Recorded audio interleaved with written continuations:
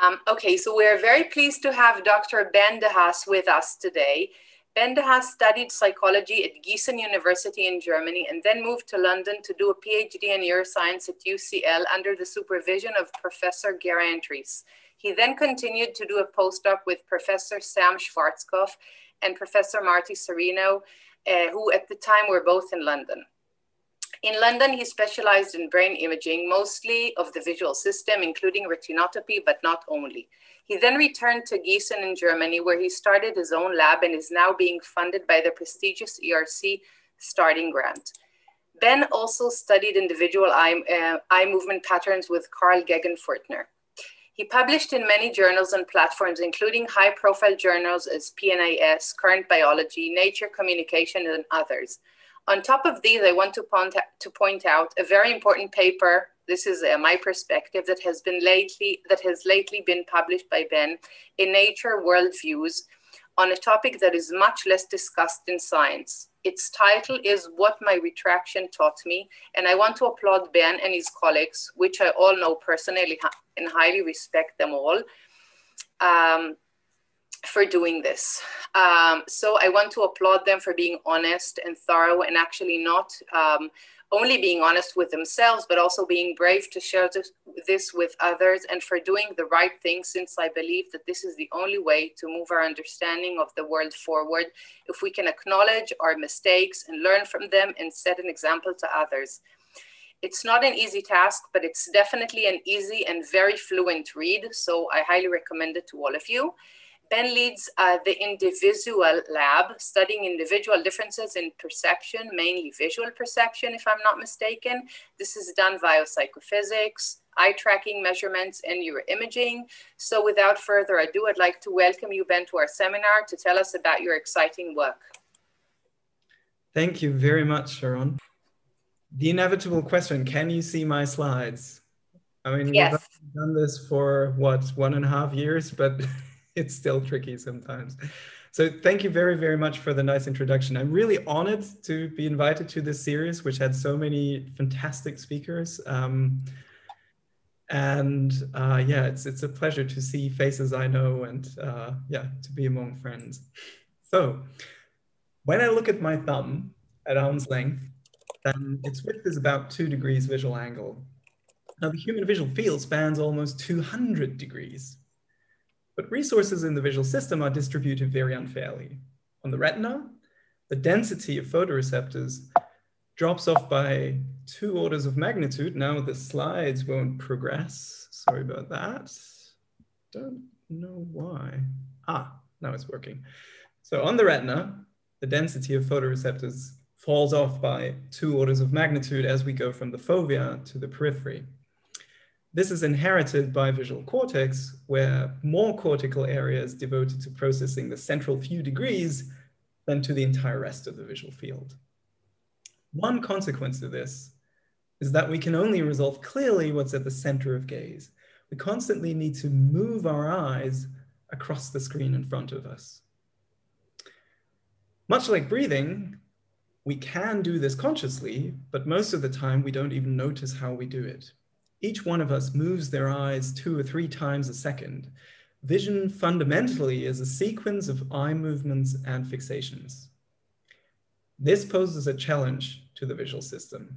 At each moment in time, it needs to decide where to move the fovea next based on peripheral input.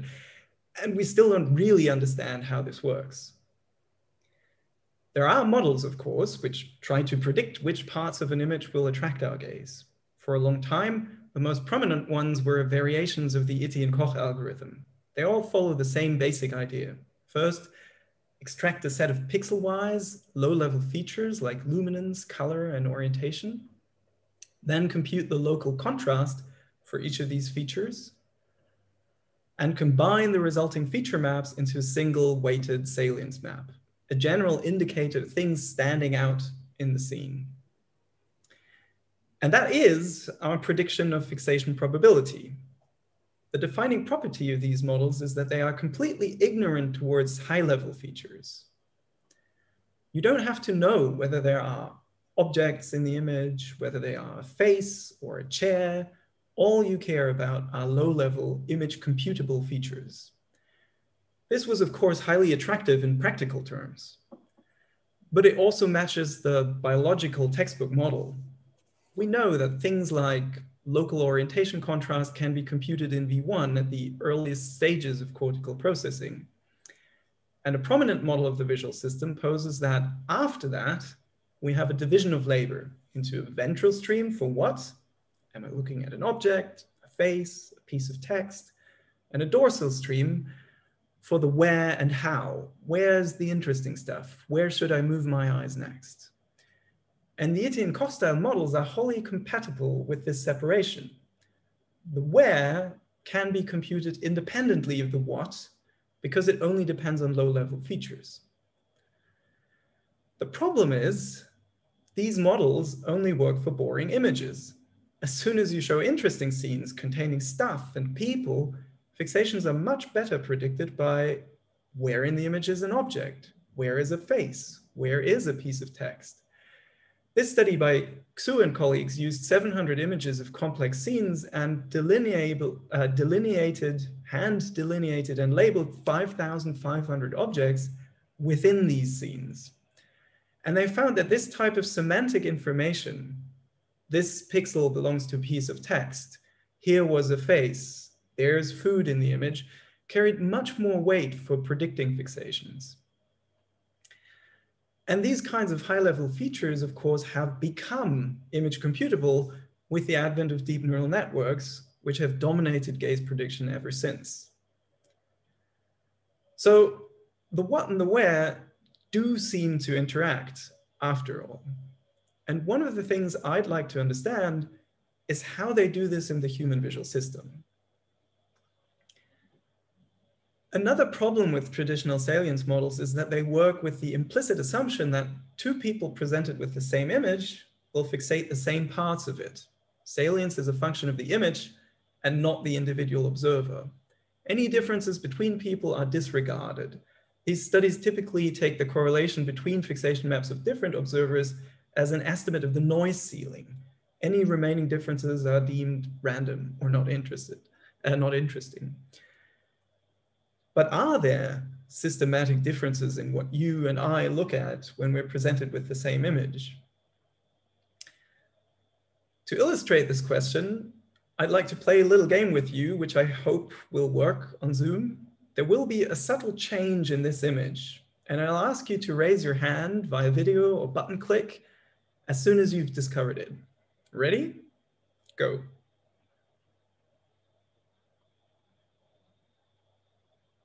Okay, we have someone. Anybody else? Can't see most of you.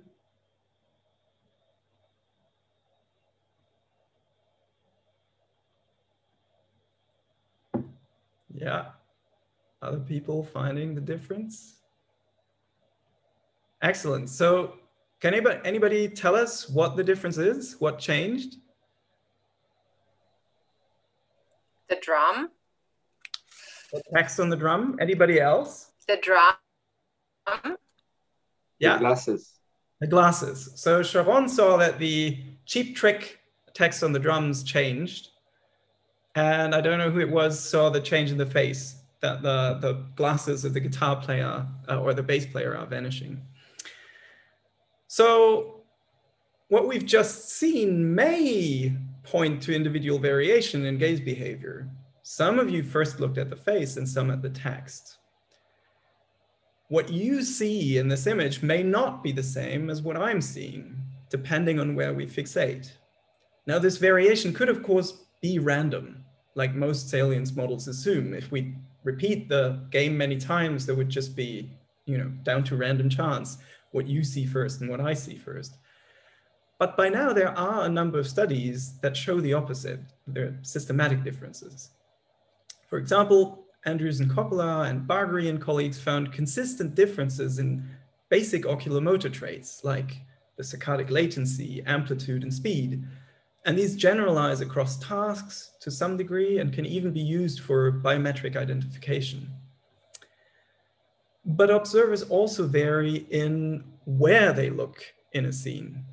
I'll have to start this video. So surprisingly, this has a strong genetic component. In this video, we see the gaze traces of a pair of monozygotic twins, which are remarkably similar to each other, spatially and in time, over time. And they were systematically and much more so than those of dizygotic twins. Which parts of a scene we fixate and when we do that seems highly heritable, which is quite surprising to me. So given there are systematic differences in where we look, what are these differences? Could the semantic dimensions that Xu and colleagues used for a general salience model also explain the differences between us? To test this, we asked more than 100 observers to look at the same 700 complex scenes in any way they wanted. It was just a free viewing task and recorded their gaze. And then we compared patterns of fixations between observers. This person was quite interested in the faces in the scene. The green circle shows their first fixation after image onset, so the landing point of the first saccade, and the remaining fixations are shown in purple. This observer in comparison seemed much more interested in the hands and in objects being touched. And when we quantify the individual percentage of dwell time spent on faces across images, we find quite a range across 50 observers. The difference is much, uh, the difference is more than a factor two. And crucially, these differences are consistent across independent sets of images. If you look at a face more than I do, for one set of images, that's an almost perfect predictor for our differences for a second independent sets of images. Every point in this gray scatter plot is one observer, and you see their individual percentage of dwell time spent on faces for the odd images versus the even images. And to the left, you see example fixations by two of these observers, the blue one and the one shown in orange. And these consistent individual differences also hold for the landing position of the first saccade, the first fixations. The target of these immediate saccades after on, image onset are thought to be under limited voluntary control. So it doesn't seem to be a question of someone today feeling like or deliberating to look more at faces, but to point to more profound differences between your visual system and mine. We find such reliable differences for the tendency to look at faces, text, hands, emotional expressions, objects with implied motion, and food. Not all of them are as consistent as for faces and text, but also clearly not random. And these tendencies are also consistent across time. When we re-invited participants after several weeks, their individual differences replicated. So this seems to reflect a trait rather than a state of the observer.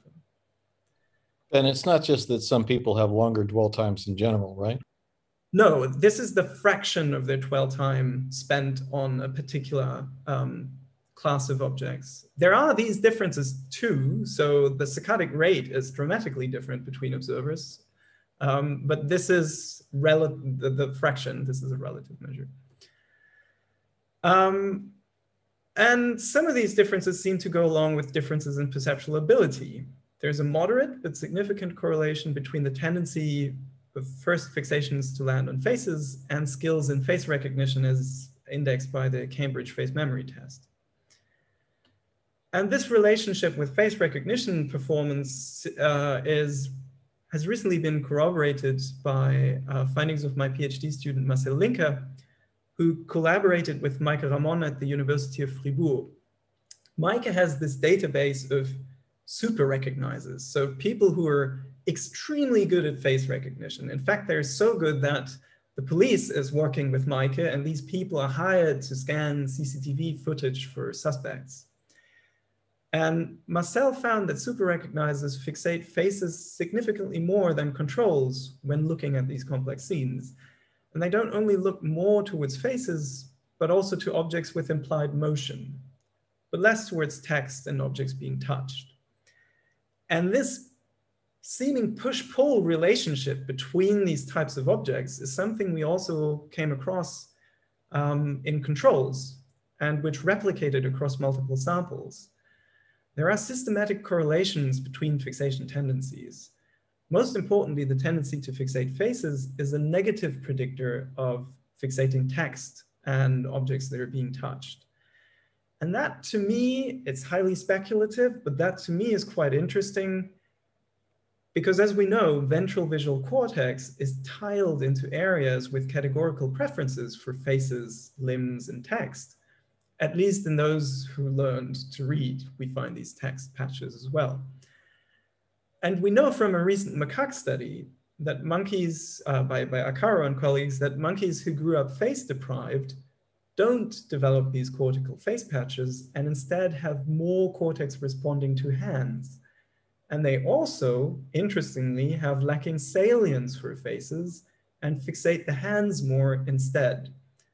So that made me wonder whether, contrary to the textbook model, these ventral areas may be involved in detecting fixation targets.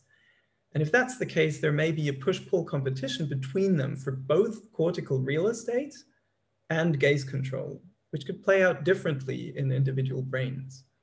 If more of your ventral stream is dedicated to face processing, maybe that also means that you have a higher individual salience for faces. So to test this idea, my PhD student Max Broda uses fMRI to map these areas in individuals who also take part in our eye tracking experiments. We identify patches with a preference for faces, text, and hands with a standard localizer to quantify how much of the inferior temporal cortex is devoted to each of these categories in the individual brain. And here you can see this for my brain. We simply calculate the proportion of voxels in IT preferring faces, hands, and text to quantify their relative prominence in the ventral stream. And as you can see, I'm spending much too much time reading, and I should look more at people probably. If these areas are involved in detecting these features for saccades, then their relative dominance may predict individual, individual fixation tendencies. Um, a related hypothesis is that ventral stream information about what's out there may inform gaze behavior by white matter tracts, feeding this information to classic dorsal attention areas like IPS. And we collaborate with Mareike Grotheer, who helped us to implement a multi-shell sequence for diffusion weighted images and with probabilistic fiber tracking for this. The idea is that we estimate the proportion of fibers in the vertical occipital fasciculus having their ventral endpoints in each of these patches. Then we can test whether that connectivity fingerprint is predictive of individual fixation tendencies. So we're using these individual differences as a tool, hoping to understand the general mechanisms of high level salience. Unfortunately, I now gave this teaser on the MRI data, but I can't report on any results of this yet because I started the lab in 2020 and scanning in a COVID world is going very, very slowly. And especially if you want to do individual differences and you need a large N, we're nowhere near the sample size we want because we had more shutdowns than times where we were able to do this so far. But um, Unfortunately, we had tons of eye tracking data we could do some interesting things with in that time. When we ask this type of question, how does the visual system detect specific types of objects outside the fovea to bring them there? It's important to note that not all fixations serve this purpose. Yes, many fixations do come from elsewhere and then land on an object to discover it for the fovea. In this image, these would be the fixations first landing on the face, the fixation first landing on the book, and that one first landing on the teddy. We call these fixations uh, detection fixations because they detect an object for foveal vision. Something that was only available to extrafoveal vision is now moved inside the fovea for the first time. But both scan path and heat map representations of fixation behavior do not differentiate these from other types of fixations. It's all just lumped together in one big bucket. So these immediate follow-up fixations on the same object after I landed on there would just go in there and contribute in the same way. Uh, and note there are plenty of these, We call those inspection fixations. You're drilling for further detail by slightly shifting the fovea around on a given object after you first landed there. And then there are returns, when the eye jumps back to revisit an object after going elsewhere. All of these are, as I said, typically lumped together, but probably serve different purposes, different perceptual functions. Detection fixations cross the bridge from extrafoveal to foveal vision. Inspection fixations extract specific details from a given object and returns can refresh our memory or extract even more detail from a previously fixated object. And we wondered whether this functional classification we propose here could help us to understand different sub-processes during scene viewing. Are there systematic differences between these types of fixations and in the factors driving them? So my PhD student Marcel and I started splitting up our data into detection, inspection, and return fixations. And we tested whether across observers, the heat maps for a given image are more similar within one of those classes than between them. So we now create three heat maps for each of these classes individually. And this is indeed the case. Across observers, the D, I, and R fixations are much more similar within one class of fixations than between them. So this is the uh, similarity across observers looking at the same images when you compare the detection fixations of uh, the odd and the even observers for the set of images and the inspection and the return fixations to the same class of fixations, they're much more similar than when you compare between these classes. Here's another example um, where the difference of this is striking participants explore quite a few objects, but successive inspection fixations are heavily concentrated on the screen, where smaller details may reveal interesting content, and they mostly return to the face seen in half profile after going elsewhere. And across images, observers are consistently different in how much of their fixation time they devote to each of these classes. Some spend twice as much of their dwell time on detection or inspection as others, and the differences in the tendency for returns are even greater, approaching a factor four. So the way people inspect a scene is radically different between observers. They vary along a huge spectrum from drillers, people who really spend more than half their fixation time staying where they are, just looking for details um, of an object they are already landed on, to explorers who have no time for that. They spend up to 80% of their time jumping to new objects or hurrying back to the one they visited before. The fact that these differences are so consistent, both across images and observers, point to this classification mapping onto something real, a segregation of functional subprocesses. Another hint of this capturing a functional difference is that over viewing time for a given image there is a steady decline of detection fixations relative to inspection and returns. This matches previous reports of a shift between an ambient mode of gaze behavior towards a focal mode with longer fixation durations and shorter saccadic amplitudes. But note that this is not the same thing as what we are proposing here. The detection, inspection, return scheme can uncover steady changes over the duration of a trial, but crucially, it allows us to classify each individual fixation according to its presumed function. And there is no simple one-to-one mapping of fixation duration and saccade length onto these classes, detection, inspection, and returns. Fixation durations steeply rise during the first second of viewing time for all of these fixation types, and then they plateau. A little later for inspections and returns, but there clearly is a general trend. The Interfixation distance, uh, the saccade length, however, is a bit more nuanced. Unsurprisingly, inspection fixations, which by definition are on the same object, are always nearby. They have a very small interfixation difference. But detections start with huge jumps across the image to then, after about a second, drop to about half that distance, while returns climb up to that plateau from a much lower level and more slowly.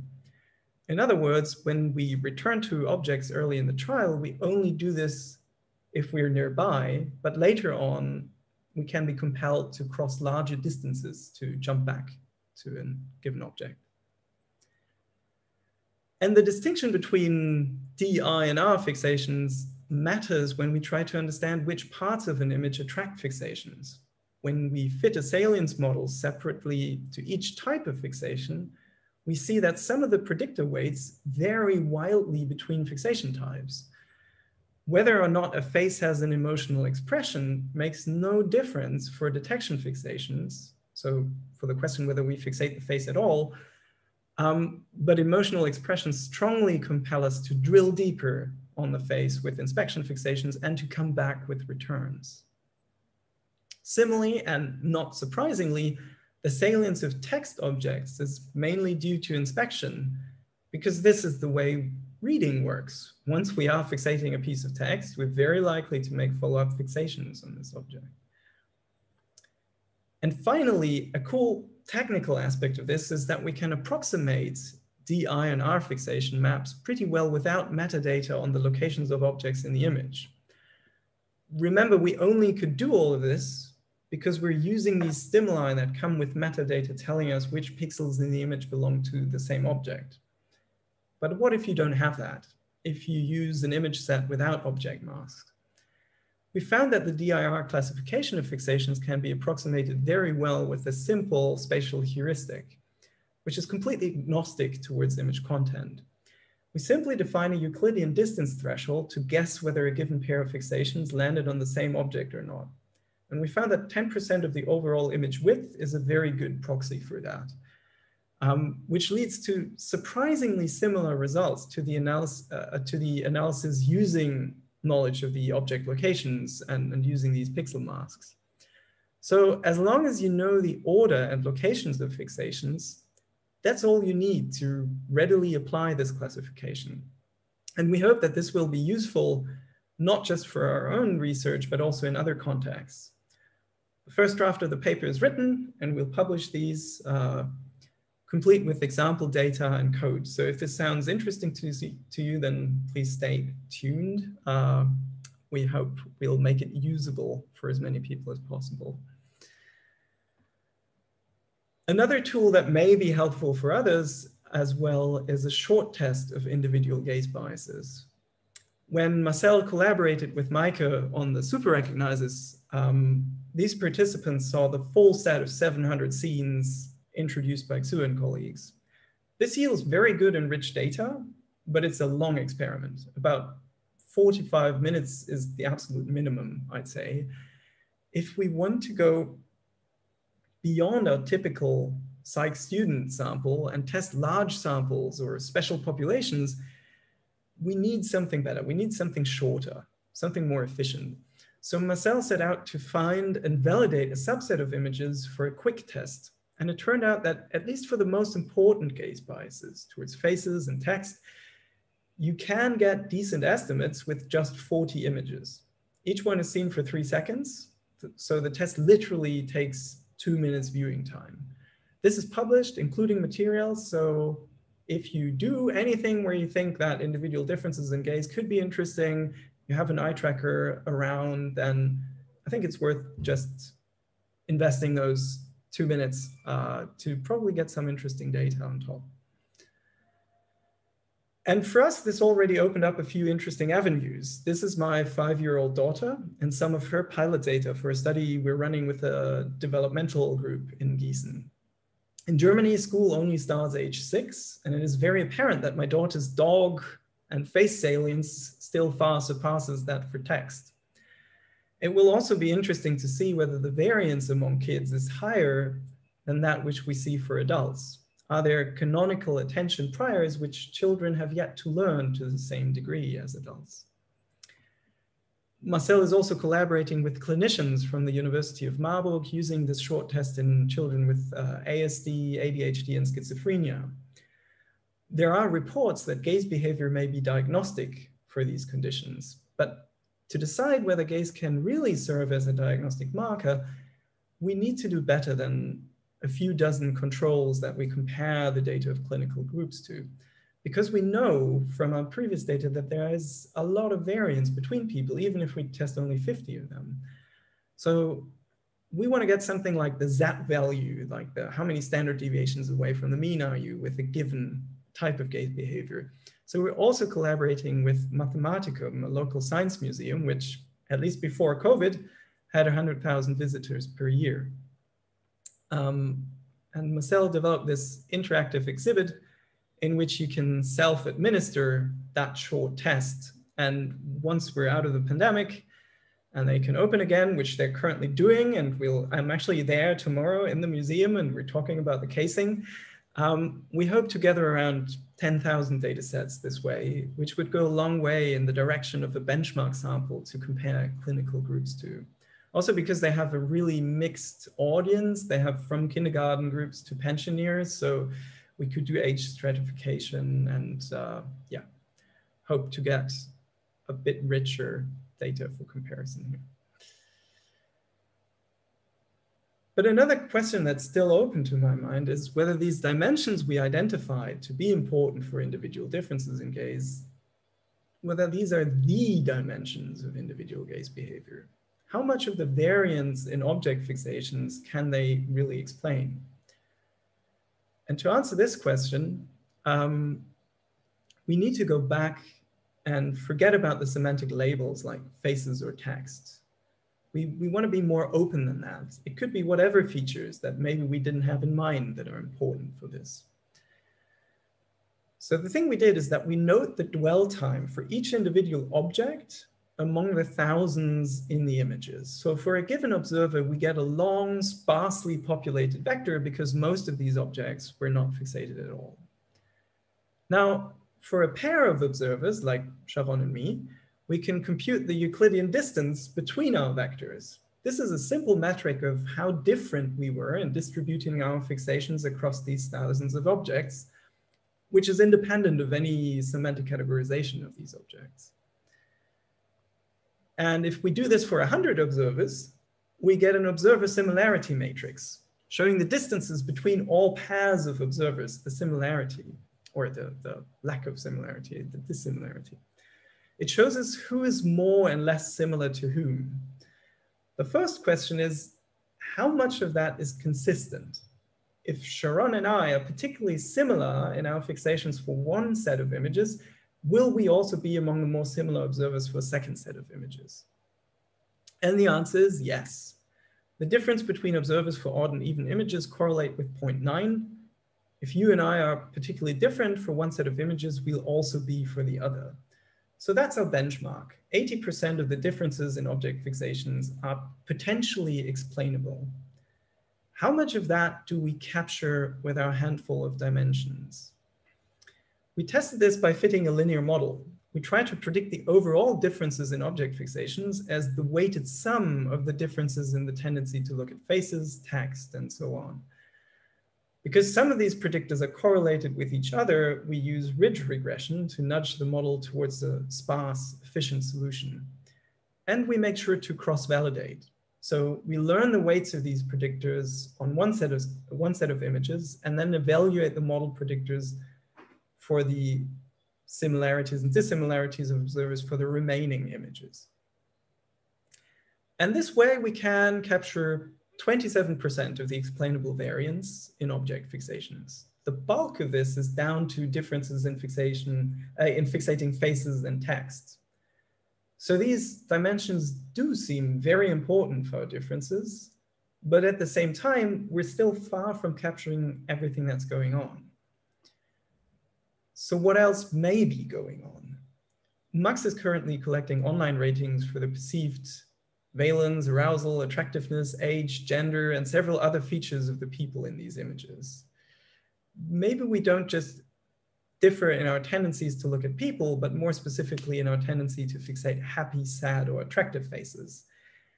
Even though I can say at this point that our first results point to the fact that apparently for everyday scenes without extreme emotional expressions, people don't really agree on which of these faces look sad or happy, which is an interesting finding in itself.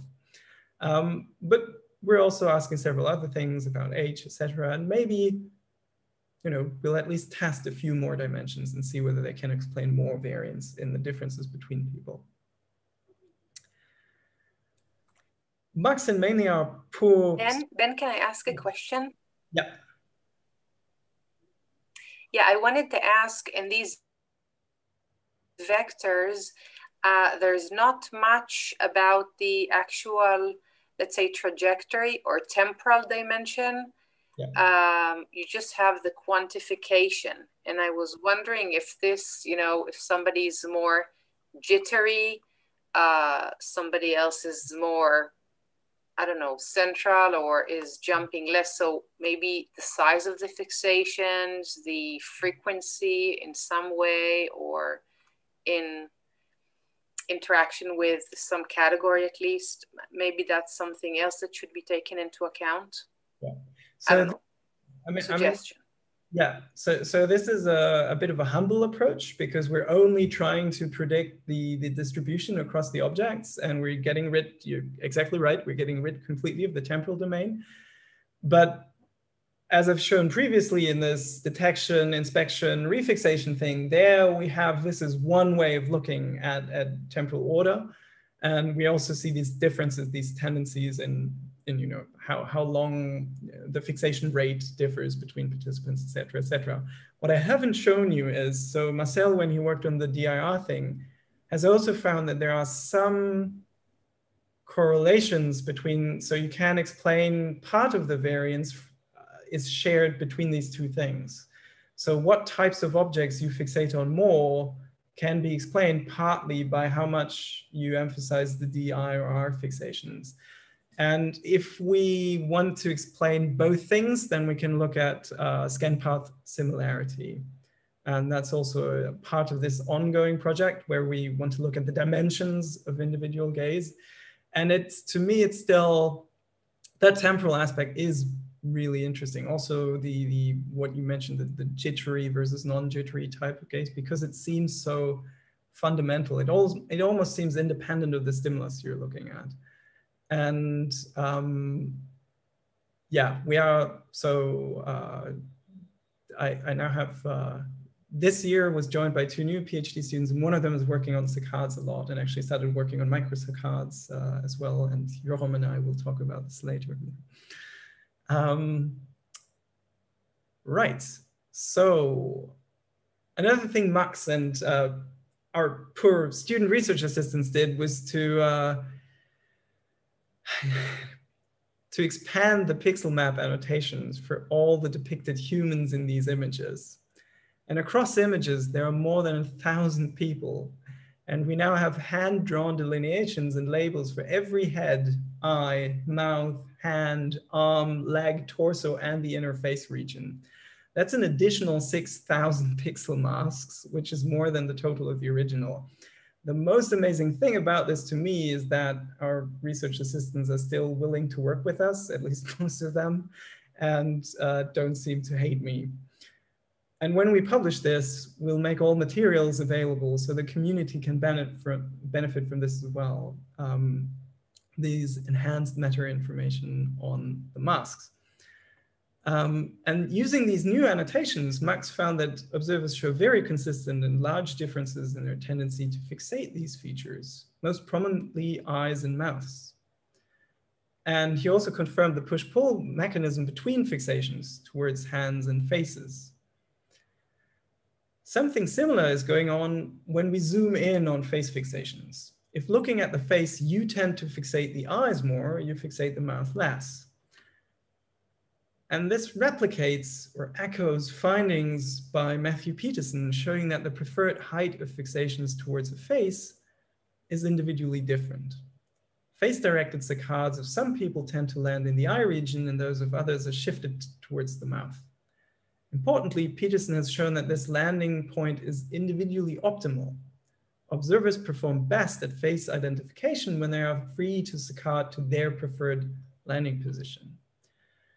What's more, Peterson later found in a painstaking mobile eye tracking study that where people spontaneously fixate in the lab is an almost perfect predictor of gaze behavior in the wild. So eye lookers consistently look higher up in faces they encounter in real life, and mouth lookers consistently fixate further down. But hang on, how can this possibly be? Why is it seemingly better for some of us to fixate the eye region and for some of us to fixate further down? Why are some of us eye lookers and others nose or mouth lookers? There are two main hypotheses.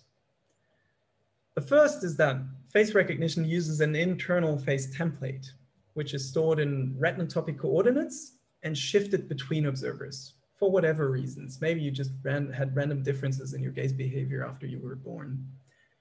We then look at faces in a way that tries to bring the face on our retina in register with this face template. There is some evidence that neural tuning for different facial features is distributed unevenly across the visual field and that observers show idiosyncratic visual biases in face perception. If we have individually shifted face templates, we may either be born with them or learn them over time. For instance, if you find eye contact unpleasant, you may start looking further down in faces for that reason. But over time, this will shift our internal face template in that direction, and it becomes perceptually ideal for you to fixate this way. We may start looking at faces in different ways for all sorts of reasons.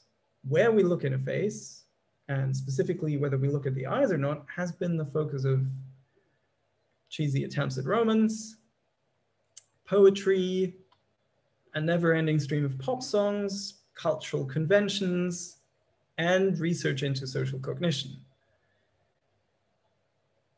And clinical tendencies and conditions such as social anxiety or autism.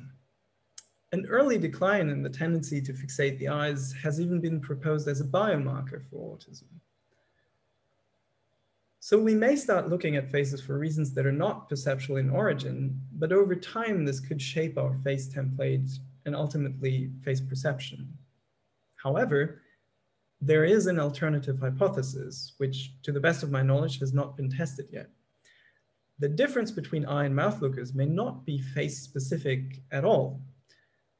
We know that beyond the general drop off of visual fidelity in the periphery, there are idiosyncratic visual field biases. One observer may have a slightly higher cortical resolution in the upper fovea compared to the lower, whereas it may be the other way around for the next person. Such low-level domain general biases, of course, would predict similar differences in gaze behavior. Places, placing faces in such inhomogeneous visual fields, someone with higher fidelity in the upper visual field would do well to fixate lower in the face and vice versa. So both hypotheses predict the differences we see in face looking.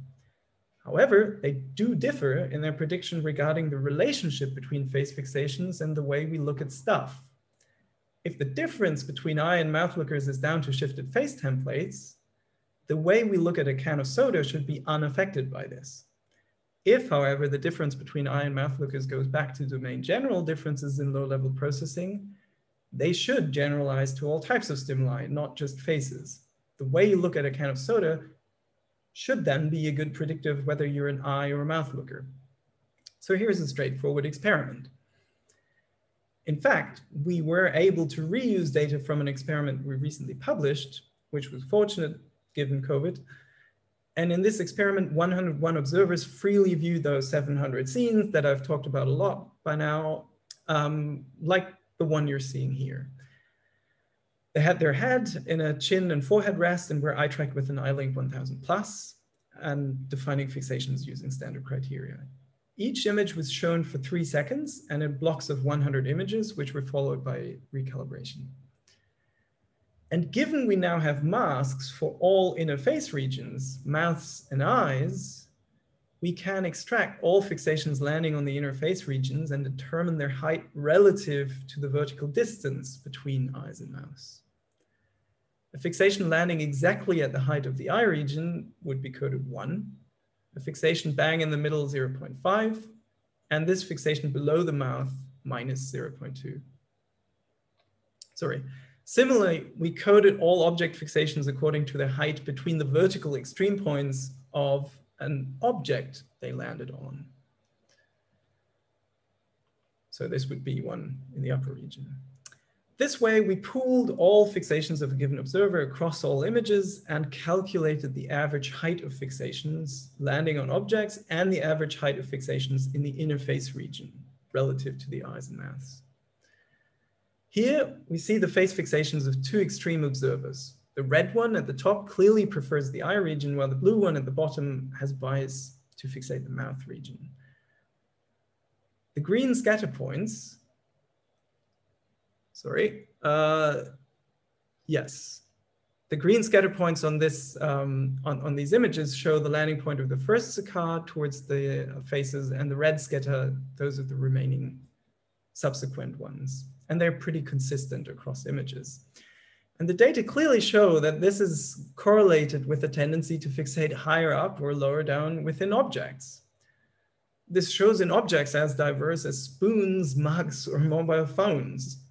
Our blue example observer clearly likes to fixate lower down in these as well, whereas the red observer prefers higher landing points. Note that these images were shown at a size of 29 by 22 degrees of visual angle, so these differences are large compared to the accuracy of the eye tracker and calibration procedures. And Sorry, Ben, these are the top of the objects or the top of the picture? Because some of these pictures are sideways. Yes, they're the top of the objects in the top being defined in image space. So the topmost pixel in image space belonging to a given object is the top of the object for that. Uh, so again, image space, that's like with respect to gravity where the observer is, not where the image was taken. Exactly, exactly. So your visual field coordinates are what's mattering to us in this case. Um, yeah, uh, and preliminary data also show that these differences are stable across sessions separated by several weeks, which we think renders calibration artifacts an unlikely explanation. The finding that fixation behavior towards faces is predicted by fixations towards stuff is in line with the hypothesis that both are caused by domain general visual field biases. However, our data don't tell us which ones they are as soon as we can open the lab again, we want to test a number of candidates, including acuity and contrast and crowding sensitivity. Our findings also don't tell us how to make sense of the fact that eye avoidance correlates with aspects of social cognition. In our sample, individual differences in gaze behavior towards things and faces share a little more than half their variance. So there may be room for an independent social factor, which probably would become more salient in situations outside the lab. And even though, though it may seem unlikely, we currently cannot rule out that low-level visual field biases have a relation to social cognition. So as always, further research is needed, and we're looking forward to the day where we can fully start data collection again. We're slowly starting, but uh, yeah, I hope I hope we can carry on for a while now before the Delta variant is hitting. And with that, I'd like to thank you again for your attention. Our funders, of course, our collaborators, but most of all, my wonderful team that managed to do all of this in this crazy year and a half of a pandemic and made setting up a lab fun. The PhD students, Marcel Linka and Max Broda, whose work I presented today, Petra Borowska and Diana Kolenda, and our Click Warrior student RAs, Diana Weisleder, Tamara Alzheimer, and Elizabeth Sendgraf.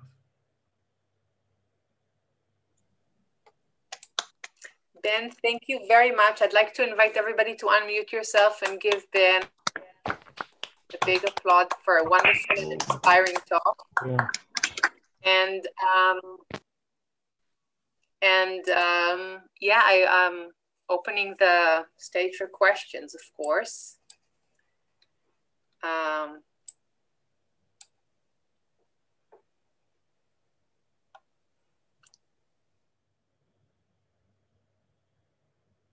I mean, I have a few questions of my own, but um, I'm not. Can I ask a question, Sharon?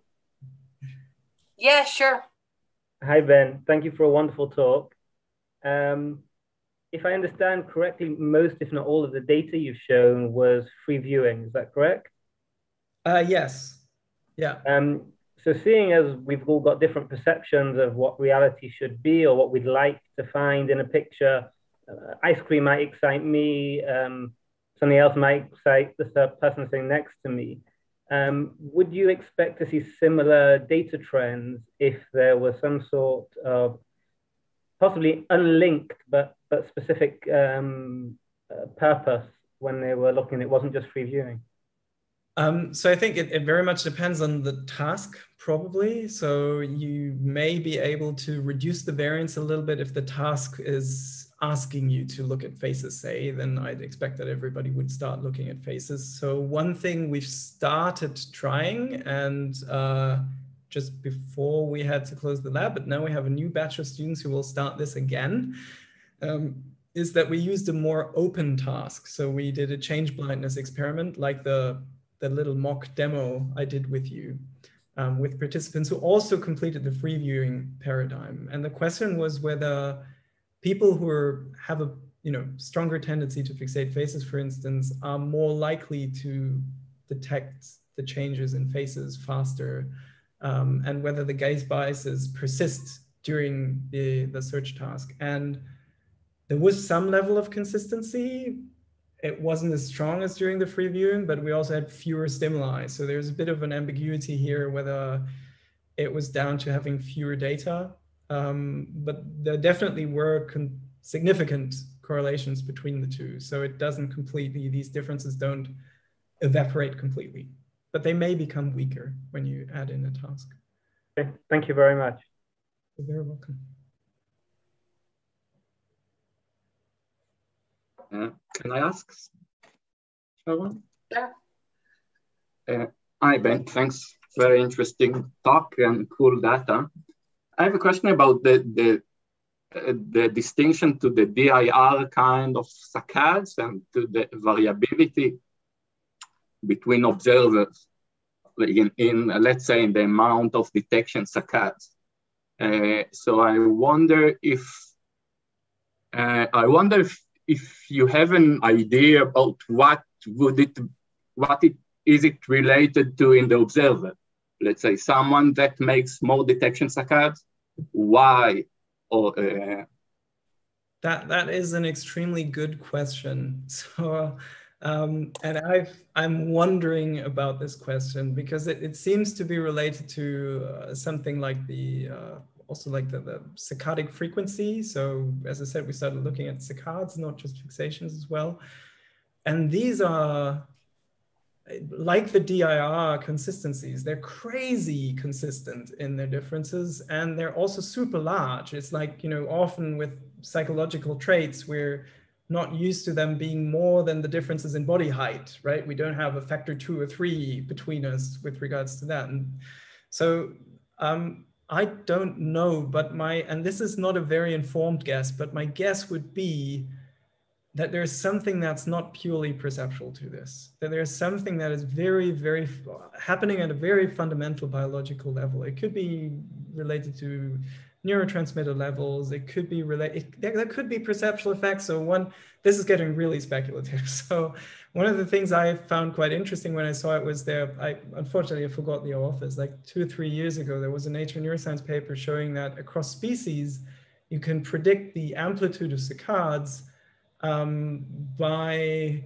an interaction of typical receptor field sizes and uh, the, the um, uh, spatial frequency content of natural scenes such that saccades leads to a de-adaptation. So you're trying to decoupling the, the input over time in a way that counteracts adaptation. And you see that even in, in animals that don't have a fovea. So they make saccades and they probably make saccades for that reason. And I'm wondering whether there could be differences in our adaptation rates between observers or just something very my my guess, my hunch would be something low level biological, but I don't know. It, it could also be some. We tried correlating fixation tendencies to big five personality traits at some point. That would be the other end of the spectrum, I guess, something very high level uh, cognition personality related. We didn't. We found like correlations that didn't survive multiple testing corrections. There may be something like a correlation of 0.2 or so, but I didn't deem that super interesting. but guesswork so far. I, I, would really like to know. This is one of the things I'm, I'm really interested in um, to find out. Also, whether we, we perceive the world differently if we're looking at it in such wildly different ways.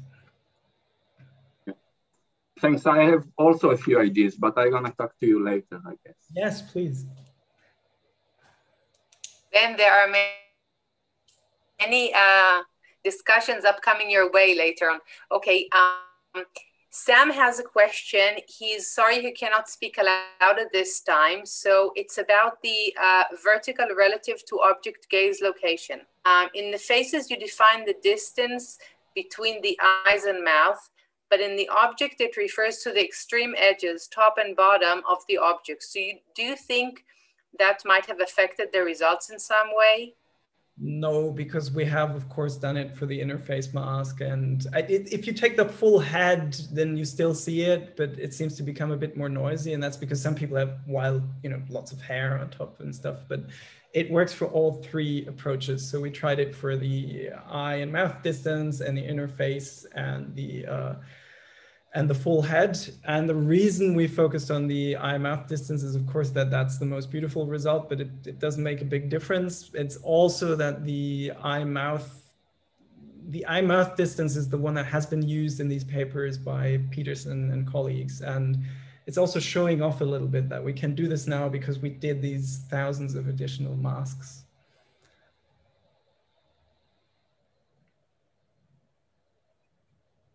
Um, Okay. Uh, Sam, I hope that's okay. If not, you can. I have one question. Oh. sure. Ben, can you hear me? Yes.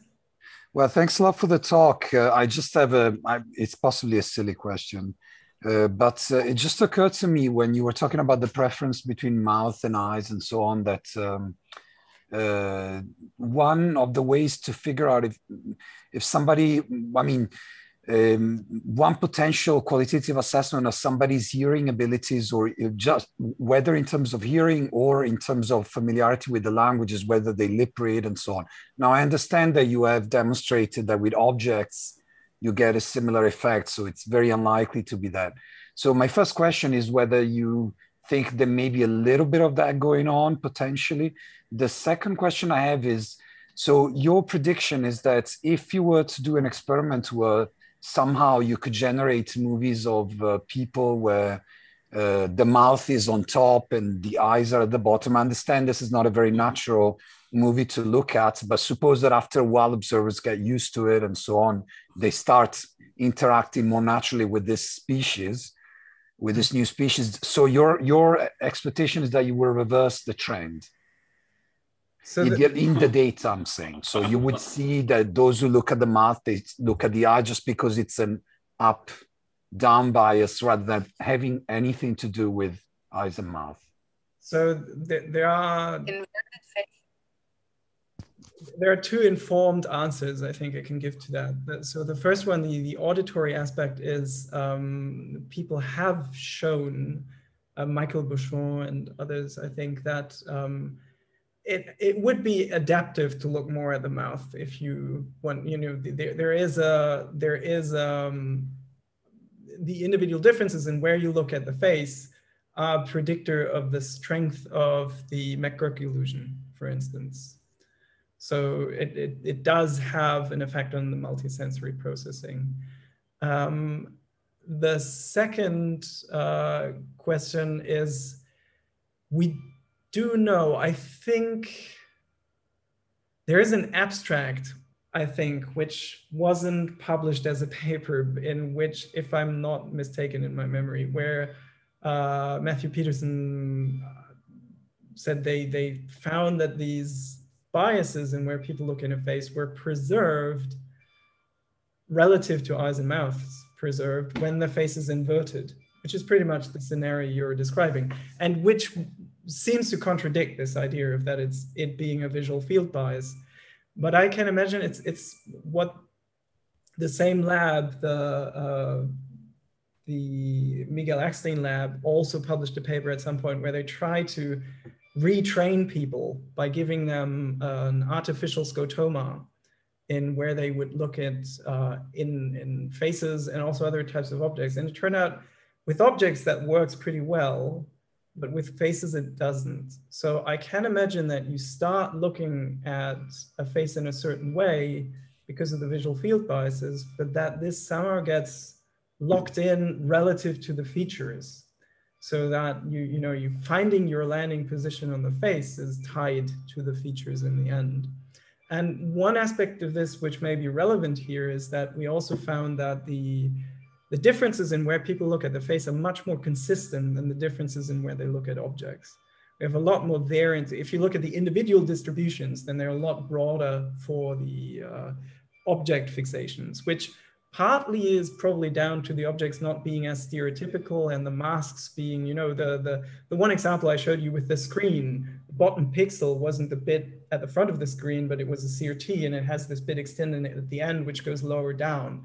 And we don't, given we just use the object pixel mask, we can't discriminate that, well, you'll fixate lower down within this. And so the, there may be more noise in the object uh, data for that reason, but there may also, you know, objects are just more different to each other than uh, faces, which are very distinct class. So I can imagine that this is another reason why for faces you have a very strictly, very stereotypical way of fixating, which is locked to the features as such. Okay, thank you. Okay. Lovely. Ben, there's another question from Veronica. I'm not sure I can um, read the, um, I'm not sure I'm reading. Okay, Veronica Lukian something. Um, I'm not, okay, anyway, when people perform free drawing during psychological tests, people of low self-esteem tend to draw most of the objects at the bottom of the paper. Can it be that people who tend to fixate on the bottom of the image have lower self-esteem? I don't know. I wasn't familiar with that finding. That's that's interesting. That's surprising to me. I, I have no idea. I should look this up. Okay. I'll send you the chats, by the way, so you can have a look at the questions that people asked. Thanks. Um, I want to ask a question myself, and that's about the um, partition in to the uh, detection, uh, inspection, and the R. Um, um, so how did you decide that? Was it by um, a saccade that was, I don't know, you said some tenth, one tenth of the size of the image in the images that you didn't have information uh, or tagging about, but was it, uh, where, was it when there was a saccade that was more than some size? I mean, how did you decide uh, whether they finished detection or was it just the first saccade that was the detection or when did you decide that's the end of the detection and now um, there's um, inspection? How did, just technical question. Uh, our uh, definition of detection was literally just the first fixation landing on a given object. It's, it's just the very first one landing on there. Okay that's a very easy thing to do when you have the labels, obviously, because you know, okay, this is the first fixation that landed on this region of the image. Um, and in the when when we try to rerun the analysis without using these object masks, then it was indeed this 10% of the image width.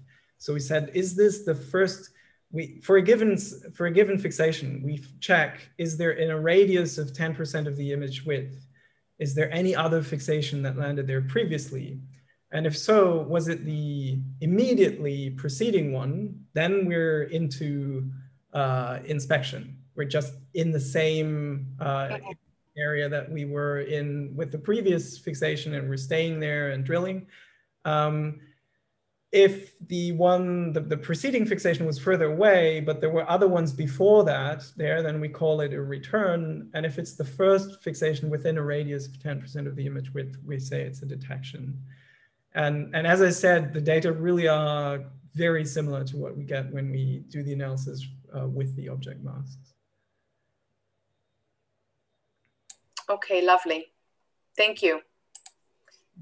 Um, um,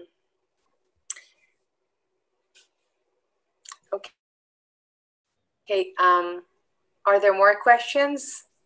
yes. about this fascinating uh, talk. um, yeah, I have a, I have one question. Thank you, Ben. Again, it was great. I really enjoyed. And um, yeah, uh, you mentioned that uh, there are definitely there are definitely some people which are better in face recognition than others. And my question is, if there are also some um, difference in the people who maybe are better in face recognition and maybe they're more focusing on the eye um, and maybe or they're more focusing on the mouth so is there some uh, interesting data Good, good question. So I haven't shown this, but uh, what Marcel found and other people have found before us actually is that the um, the super recognizers interestingly didn't fixate the eye region more. They seem to fixate more centrally on the face. So they seem to be more nose lookers, if anything. Which you can then speculate about this being, you know, more holistic processing maybe because they're taking in all features at once, but yeah. Thank you. Okay. So, um, Ben, I'd like to thank you again for a wonderful talk. And um, again, thank you very much for joining us. Um, um, yeah, everybody, welcome to uh, also uh, applaud. And um, I, I, just want to mention next week we will have um, Hillel Aviezer with us. We'll talk about emotions, facial emotions. I don't know the title, precise title yet, but um, I will publish that um, at the same time. And um, thanks everybody for joining us. Um, Yoram, you can stop recording now, but uh, we can stay, uh, stay some more. thanks everybody.